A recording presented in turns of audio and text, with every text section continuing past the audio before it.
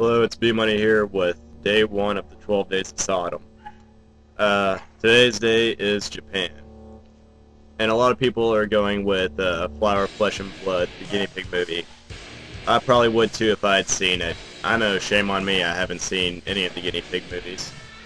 So, uh, I'm gonna go for something a little different. Uh, a little back for you. When you dip into Japanese horror cinema, you know, kind of get your fingers wet with Ju-on, Ringu, Dark Water, stuff like that. You dig a little deeper, get to your Takashi Miike stuff, Audition, Visitor Q, Ichi the Killer. But to get to the Japanese STF stuff, you gotta dig even further, and that leads, in my opinion, to Red Room. Red Room is my pick. Sorry, my dog's going fucking nuts beside me. Dexter, chill the fuck out. Anyway. Red Room was made either in the 90s or the early 2000s. I don't recall exactly, but the basic plot is there's four people in a room playing a game for some large sum of money. I don't remember exactly how much. There's a married couple who I think are bankrupt or something. They need the money. There's one girl, and I don't really remember why she needed the money. And then there's a transvestite who wants a sex change. And there's I forget exactly how the game's played. It's been a while since I've seen it, but I remember this one being pretty fucked up.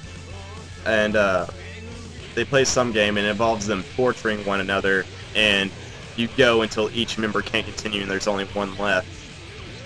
And there's just all different kinds of pretty brutal stuff. Uh, I think either the wife or one of the women gets beaten and raped. Uh, I think the guy gets burned with a hairdryer, which doesn't sound too brutal, but it is.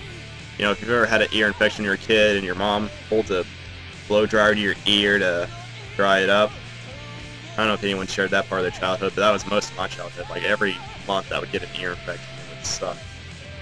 But uh, another, uh, the husband after his wife died, he like puts a light bulb up this chick's upper business, and it breaks, of course.